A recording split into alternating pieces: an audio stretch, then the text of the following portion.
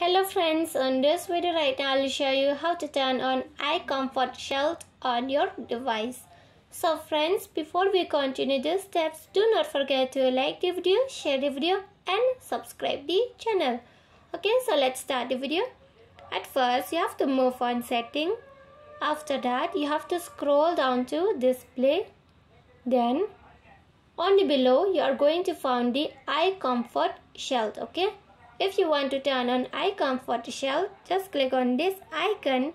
The Eye Comfort Shield on your device will be set on, okay? So friends, if you love the video, do not forget to like the video, share the video and subscribe to the channel and thanks for watching.